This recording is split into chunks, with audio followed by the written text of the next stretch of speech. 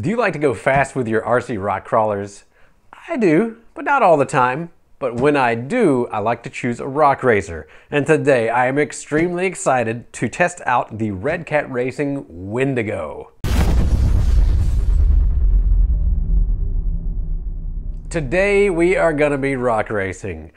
This is gonna be a pretty cool rig to test out because it is a brand new rock racer on the market. And to tell you the truth, we really haven't had a true rock racer released for a really long time. Redcat Racing has designed this guy from the ground up. It comes with a brushless Hobbywing system, 25 kilogram servo, and is essentially ready to run except for adding your batteries and probably batteries to the radio. Let's see. Eh, it'll, we'll figure that out here in a minute. But it's a very well printed box. Uh, it's uh, I, I kind of like the the glossy print on top of a matte print. Uh, and we're not buying it for the box, of course, at least not in this case. But uh, it's it's uh, it's pretty good looking. It's something that if it was on the shelf, that I would take a look at it and probably say, hey, this is a you know this is a quality rig. But uh, just going through it, you know, uh, 10th scale, it's got some scale accessories, uh, four-wheel drive, brushless, no need to wrench on it. Look at there, even shows you no need to wrench on it, waterproof electronics, uh, blah, blah, blah. Let's just get right into it. I didn't get this thing for the box.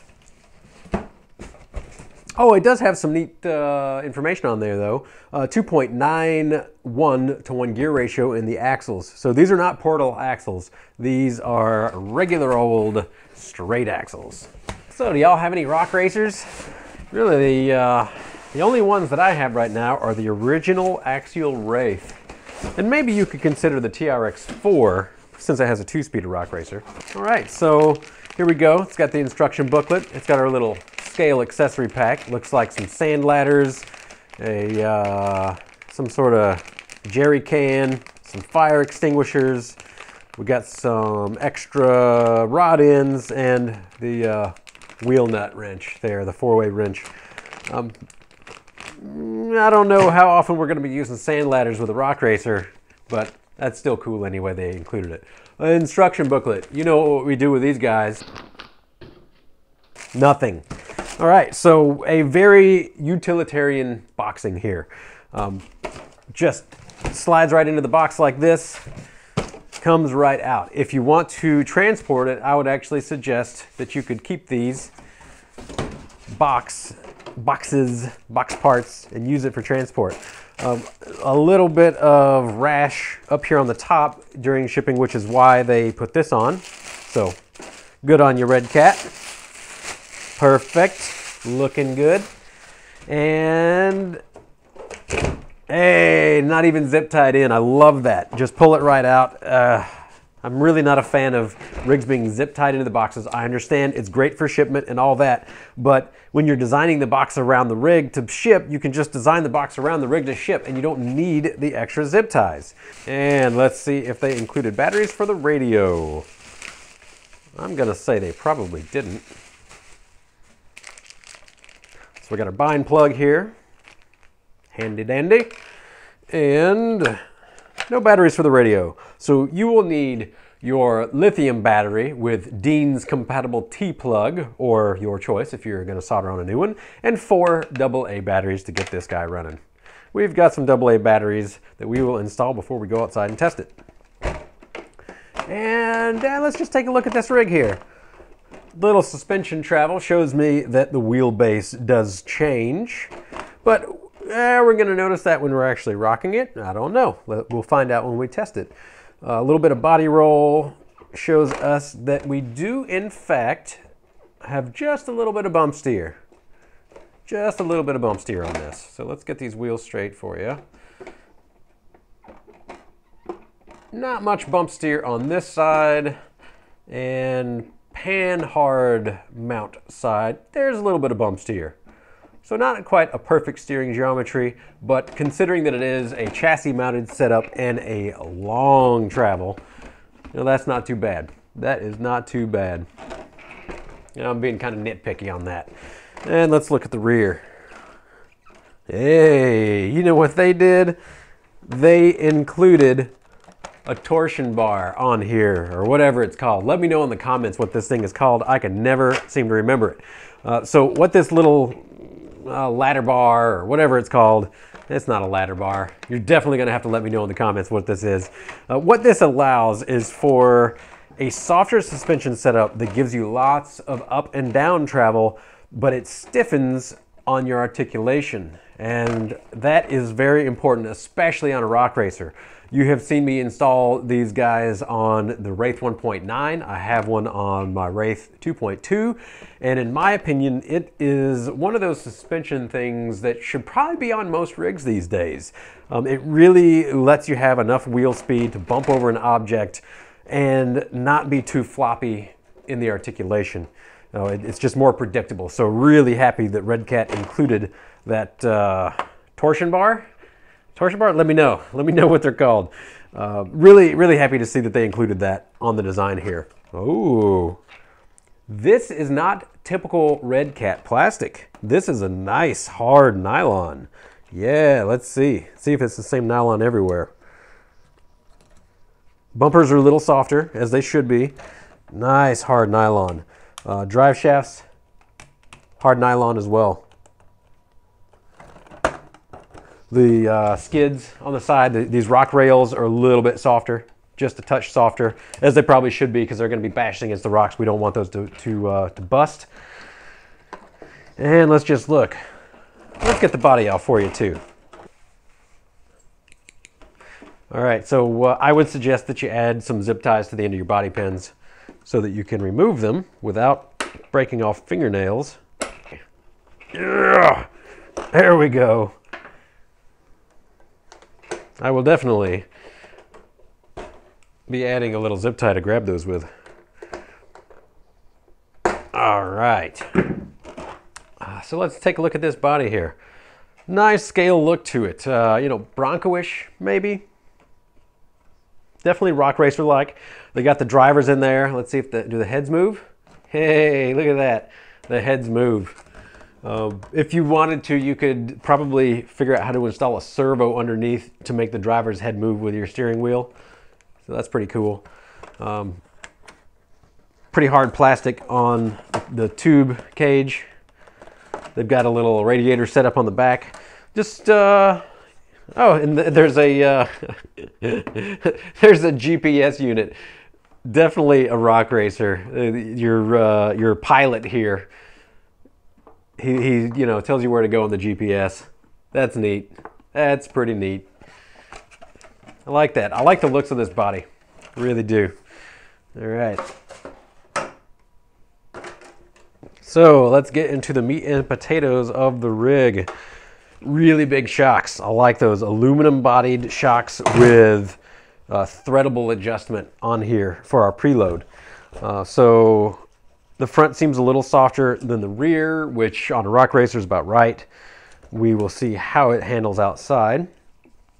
And here is the brushless motor made by Hobbywing for Redcat. And let's see, can't tell if it's a two pole or a four pole for cost reasons, uh, which this one is retailing right now at $390 for ready to run with brushless. Not too bad of a deal, honestly. It's, uh, but I would assume that it, it, might be a two pole. I'll take it apart and find out later. But uh, nice suspension, really like those shocks. Um, like I said, threaded shock bodies on there. Pretty hard. That yeah, that's a hard nylon for the shock towers. So there's no there's no flexing on this frame. Really beefy C-channel frame too. Wow, yeah. That is the largest C-channel frame on the market right now, I do believe. Maybe there's something that, that I haven't tried out yet, but that guy is beefy and made for some punishment. And then uh, full-size battery tray here, and of course our Hobbywing ESC right there. Uh, 14 gauge wires. For what this is, I would say that you should probably run it in 13 or 12 gauge wires, but you know, I can armchair quarterback this thing all day. I'm sure it actually runs fine. And like uh, Dean's compatible T-plug. I think most people are running the XT60s at this point in the market, a little, uh, you know, a little more uh, common, but that's a nice plug too. It'll work. I'll just have to make an adapter for it. Uh, so full size pack, this is actually a shorty from Helios, 5200 3S 50C pack. A little bit shorter than a normal pack because this one fits in my Capra perfectly. This is an ultimate Capra pack. And since I already have it and it's charged, and I get these with XT60s with a little Dean's adapter. So fits in there. There's a little bit of forwards to backwards movement. Probably just tie it down and see if it doesn't move. Uh, but what we could do is use a little bit of double-sided Velcro to keep it from moving back and forth. That's also an option. I'll just cinch down. Now, they call it waterproof on the box. However, I would like to note that our RX plugs are right here and they are exposed on the outside of our radio box. So what I would suggest if you do plan to get it into water is to use dielectric grease. This is CRC. You can get it at pretty much any auto parts store, even Walmart. Uh, this is what we use in the shop to add dielectric grease to plugs. I would suggest that you put dielectric not only on these radio ports here, but also probably on this plug, uh, pretty much any plug that'll get water that you don't want to get messed up. Even on your balance plug of your battery, it's a good idea to coat that guy up, slather it up so that you don't have any corrosion problems long term because the balance plug is rather delicate. They're only made for a limited number of plugging and unplugging cycles and the pins are super tiny. So any corrosion will end up ruining the plug pretty quick.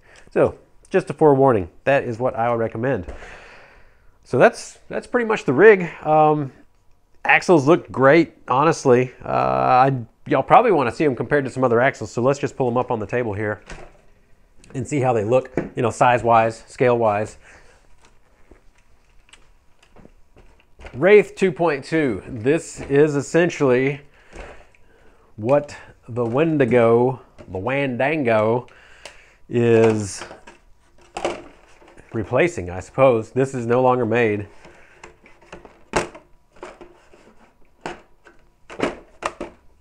All right, so it's larger. I would almost say it's a, a eighth scale, almost. The wheelbase is just slightly shorter. And if we look at those axles, give you all a, a front shot there. They're pretty close in size. They have a slightly offset pumpkin. Uh, looks a little stouter though, honestly. We have, let's see, what do we have here? We do have universals, um, so that's nice. They did not throw in regular old dog bones. The neck down is a little tight. Um, we'll see how they hold up. They'll probably be fine, uh, especially with the stock system. And I would like to address that this Wendigo, Winona Ryder, is made in Taiwan. And this is a first for Redcat. Red Cat is primarily a made in China company, and going to Taiwan tells me a few things. First, this is all new tooling. This is not just some stuff that they had laying around that they are redoing with another body on top. Number two, this was an opportunity for them to increase the quality on their parts. Just judging by the plastics, just judging by the tires, I would say that the overall quality of this is probably going to be the best that Redcat has put out. And the engineer that designed this rig did tell me that they have specified higher quality grades for all of the metal parts and the plastic, you know, pretty much everything.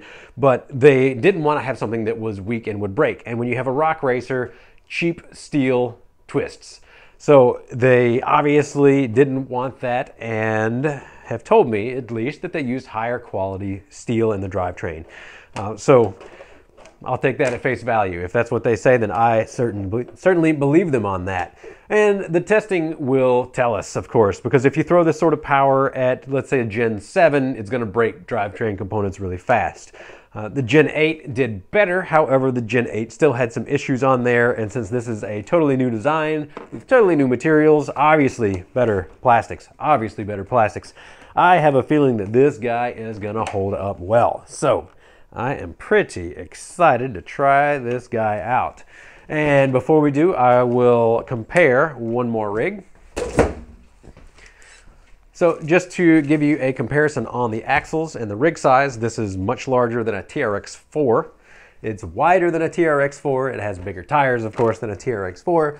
And as you can see, the axles are much wider and pretty dang beefy looking. Pretty dang beefy. Uh, so one would hope that it is going to be as stout as the TRX-4. Now it's time to go outside and try to beat this guy up.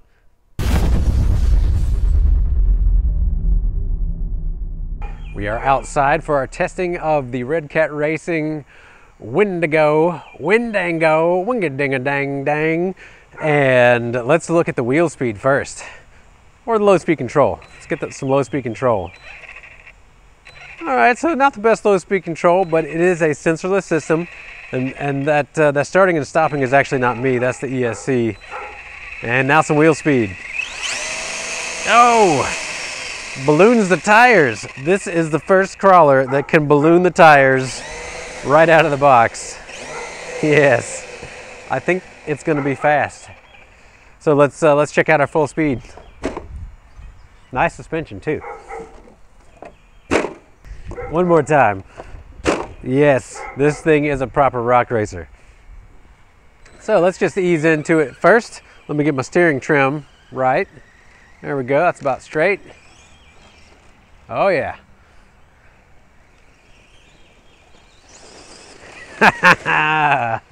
that wasn't even full bore. All right, we'll do. We'll go back. We'll go by again.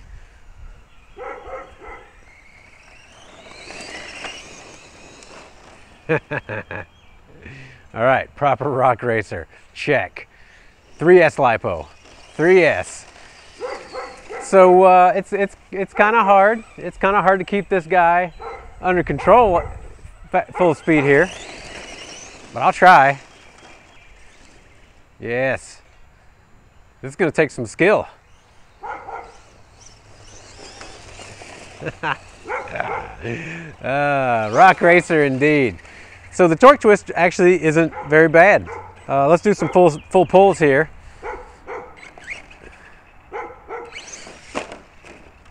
Yeah, yeah. All right, so there's a little bit of torque twist on a full pull. There's uh, some, some backflip action there. Yes. All right, uh, well, perfect time to uh, try again. It's always a perfect time. Oh, can I, can I, oh no, I'm turtled. So this is a proper basher for sure. I, I wouldn't recommend this as a rock crawler without electronics changes and probably gearing change too. I'm not sure exactly what the Winona Ryder comes with with stock ratio, but I do know you can go as high as 45 to 1, which would make it a crawler territory. Uh, better ratio than some of the other rigs that have come out recently. Um, I would also like to note that this yard is very wet. This is going to be a good test of the waterproof electronics without, you know, getting fully submerged at least. Oh no! I couldn't react in time.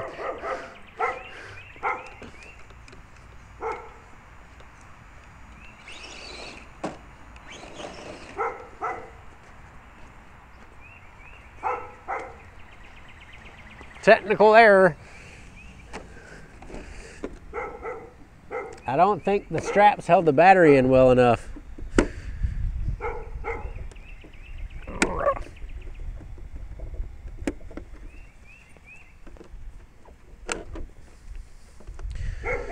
Well, it, it looks like we're gonna have to put a little spacer to really deal with the, the bashing that this guy can dish out because this shorty pack just kind of slipped out. And yeah, I'm using a shorty pack. So that's my fault really. We'll just stick that right back in and pretend nothing happened. I did hit the tree at almost full bore. I don't know if I was in the way of the camera there, but uh, yeah, I couldn't quite react in time. I wasn't paying attention. When you got this much speed on the rig, you got to pay more attention. All right, uh, let's just get her into the rocks and see what happens. The low speed control on this guy isn't so great. Uh, let's let's show you the throttle. I'll just throttle trim up here a little bit. So you see that starting and stopping, I'm not doing that. I'm not even touching on the remote. That's what the sensorless speed controller is doing. Know, it's starting, it's stopping, it's starting, it's stopping. which is to be expected with a lot of lower cost controllers. This isn't a Sidewinder 4 or a Mamba X, which would actually really give this guy the ability to crawl. You it'll, it'll bash through the rocks. It'll, it'll, it'll do some easy sections.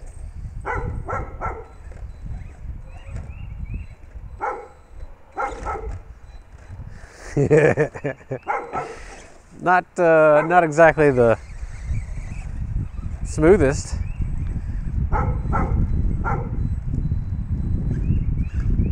And I'm sure that the ESC is going to be extremely hot. but uh, honestly, you know, from what I can tell, the geometry is pretty decent for crawling. It's very stable. Uh, you know, it's, it's kind of like the, the Gen 8 as far as being stable on the rocks, which is cool. All right, let's see if I can kind of come up a hard line here. Yeah. Yes, we can. All right, so uh, yeah, that's kind of promising. Oh, oh, oh, sensorless, sensorless smoothness. You know, we're all about the low speed control here. Uh, so I will definitely be putting a rock race system in this that is sensored. Oh, I almost had it.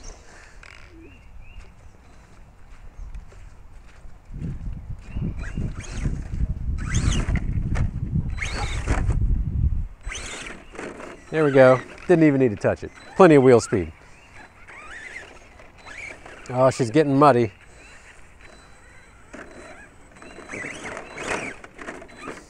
Oh, you're ruining my crawler course, Winnebago.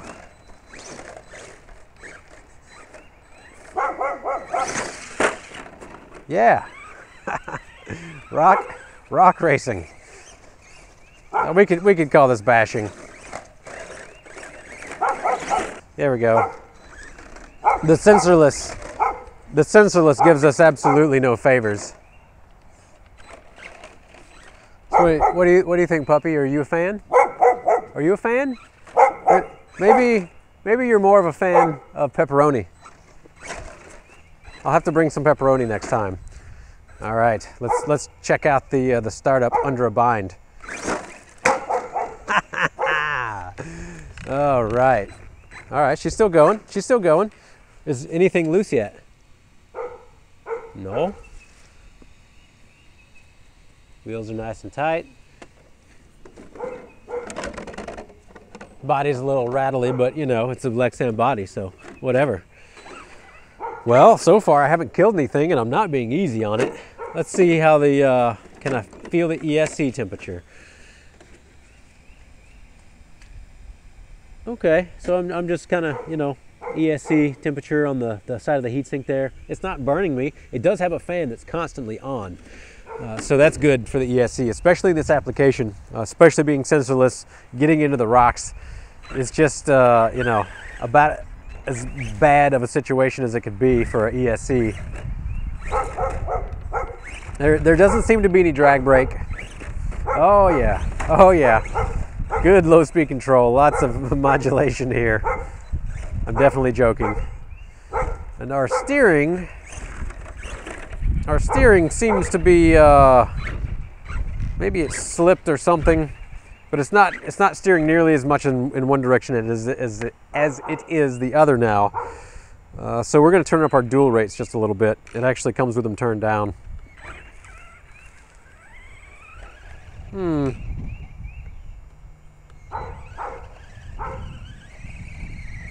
Doesn't seem to help.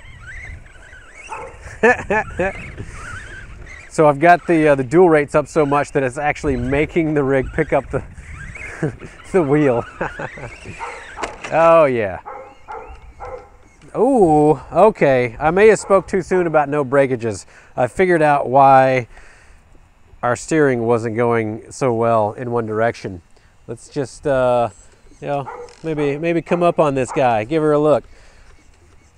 So I imagine when I hit that tree at full bore, it may have broken this piece. So there's a plastic piece that goes into the front of the frame rail there, and uh, you can maybe see that servo mount's just, just moving. So that's, uh, you know, these things aren't indestructible. I have been beating the crap out of it. And that sort of thing, you know, it's kind of to be expected when you full bore into a tree. It's certainly functional. The piece is likely available from Redcat. And uh, more than likely, you'll see some aluminum aftermarket for that. Of course, if you make that piece of aluminum, what's going to break next? You know, that's always the question. So um, there we go. While not quite indestructible, I have really given the Wingadango, the, the Wendigo, a pretty hard beating today. Um, pretty fun rig. What I would like to do to it is to uh, put a sensored system in there. I'm going to go nuts and put a proper rock racing system, the Puller Pro 4100R, which is a more than 550 length as far as the power is concerned. Uh, it's, a, it's a 550 length motor in the can size, but a lot of, a lot of stator inside. Uh, so I'm going to put that in there combined with a Mamba X and then probably throw one of my uh, servos in there, SHV 500, the V3, just so I don't need a BEC for it. Although the Mamba X has a strong BEC, um, but my servo runs on 3S directly, so that's what we will be doing overall, uh, for the money for a rock racer, I'd say this is actually a pretty good value. Um, their plastics are definitely much improved on that servo mount. They did go with a harder plastic, which is, I believe, why it broke in the fashion that it did. But again, y'all saw that hit to the tree, I think. That, that was uh, usually something is going to break at that sort of impact. I haven't been nice to it at all. But the electronics haven't burned out. The servo hasn't burned out going in the rocks, getting it bound up. It's, uh, again, I haven't been nice to it. So overall, this is an extremely fun rig. Uh, you know, I'm not exactly a basher type, but uh, what would make it more fun for me is a, definitely the sensored system. I'm going to gear down so that I have the same wheel speed, maybe a little less, even with a higher KV motor. And that's going to make it more suitable for getting into the rocks and, and to be an all-trail style of vehicle. But the size of this guy is going to make it really capable. And uh, I just can't, I just can't help myself here. It's uh, oh, oh, sensorless, sensorless. Not quite. It's, oh, can sensorless get out? Yes, there we go. Again, not very good low speed control. But, uh, you know, I think at this point we will uh, call it. I'll call this a success. I even broke some parts. And to leave y'all, I'm going to wheelie off into the sunset. So, thanks for tuning in. If you do have any questions, post them down below. And as always, have a good day.